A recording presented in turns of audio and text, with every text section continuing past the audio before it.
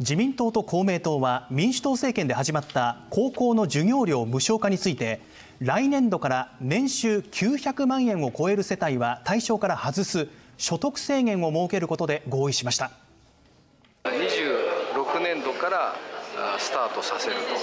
ということであの決定をしていただきました、まあ、それに沿ってですね。所得制限をめぐっては下村文部科学大臣と自公の実務者が900万円をめどに設けることで合意していました。これを受けて自民党の文部科学部会は来年度から所得制限を設けることを了承しました。所得制限を設けることで得られた財源およそ900億円については返済義務のない給付型奨学金や公立と私立の格差是正などに充てるとしています。